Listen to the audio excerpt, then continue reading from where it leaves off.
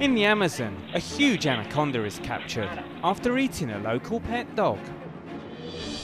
Who better to tell the story than the man who went head to head with the massive predator? My name is Sebastian Bascoulis. I am 39 years old and live in French Guiana. Since I was 10, I have liked handling reptiles. I decided to capture this anaconda to release it far from people's homes. Was not scared because I thought it was smaller, but I was very surprised by his strength when it began to move and his length more than 5 meters. It was really difficult to capture this kind of snakes because they are very strong. This is the reason why I asked to my friend to help me by catching his tail.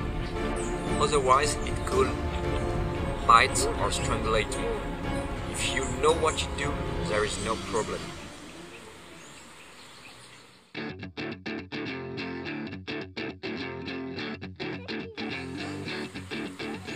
Kids, they weren't scared.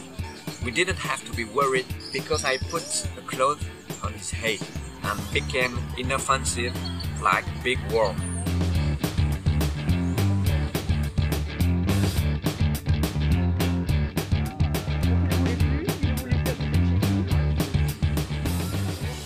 After the capture, it was too late to release it far from the house.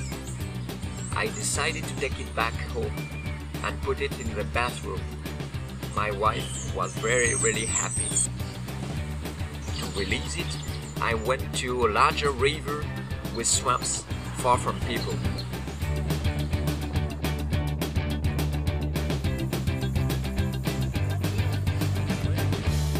It's more easy for me to catch anaconda than speaking English.